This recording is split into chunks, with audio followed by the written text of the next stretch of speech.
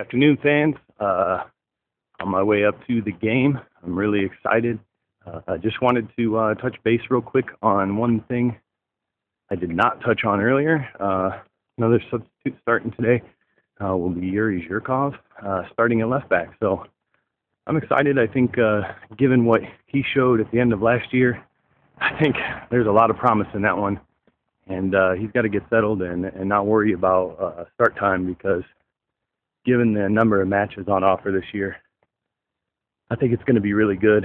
I'm not worried at all uh, about him getting playing time.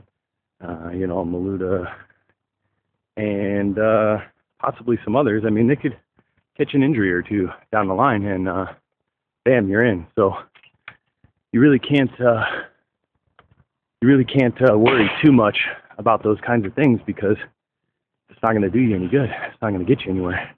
All right, so we're off to the game, and I'll see you later.